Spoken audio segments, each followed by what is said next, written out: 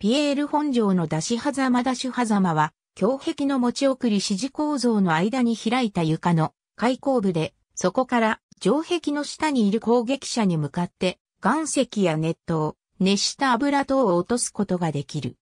石落とし、突出し狭間、張り出し狭間、羽出し狭間とも、中世ヨーロッパでノルマン人の十字軍参加者が帰還した頃から見られるようになった。出し狭間のある狭間胸壁が下部の城壁よりせり出しているのは物を落とすためである。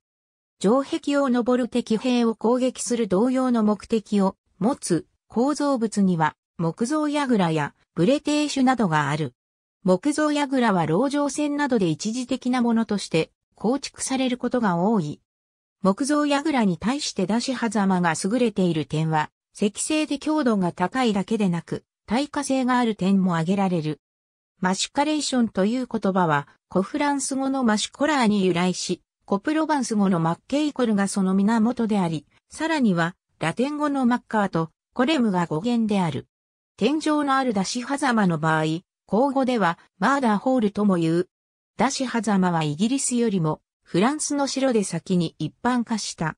イギリスの場合、13世紀のコンビ城のように門の上部だけに限定されていた。ダシハザマは後に装飾効果を狙って持ち送りの間の空間に使われるようになったが、開口部はなくなり、軍事用でない建物の特徴になっていった。